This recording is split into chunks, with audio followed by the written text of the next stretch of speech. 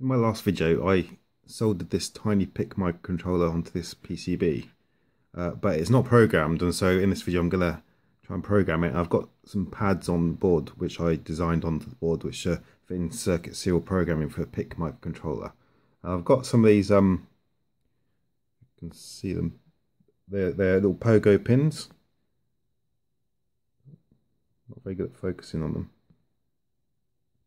Um, and what they do is they, they got like a little spring spring loaded tips so that when you bring them down onto the, onto the PCB uh, they they actually uh, provide a good method of connecting um, so that they, they all lie on the PCB evenly. So I've put them on on this rig.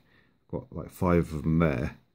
And I bring them up through these wires. Now I've got these wires so that because I might lay out the, the pads differently uh, depending on the project, depending on how easy it is to lay out pads in a certain order.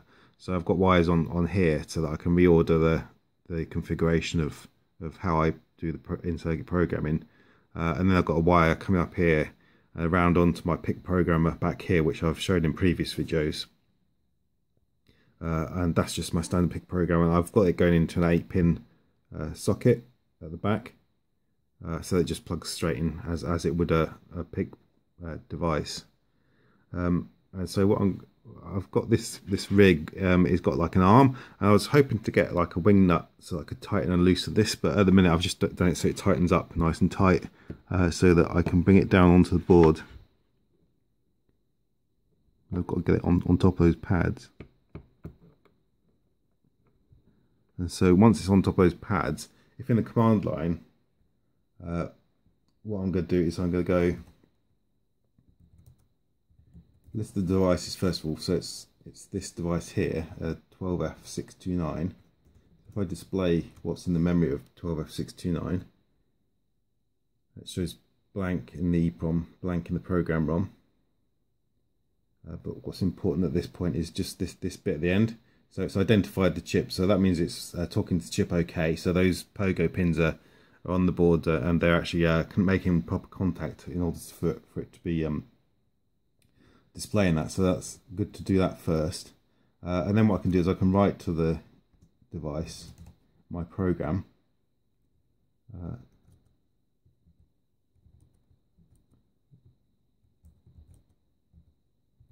so if I use my send the, the hex file to it. And so that's writing to the EEPROM then writing to the uh, program memory. That should write the program up. Don't worry about that program failed around here because that's just the, the writing the config and the config doesn't read back as it writes and so I need to modify my programmer just so it ignores that. Um, but if I then display it again, because I've got code protect and uh, of the EEPROM and the program memory on, it just reads back zeros. Uh, but we can see as it's read back things I've written to the ID um, and the config is now updated as well. Um, so what I'll do is I'll take that up. I'll just move that out of the way. I'll turn I'll turn this over and show it powered up. So I'm going to connect a power lead.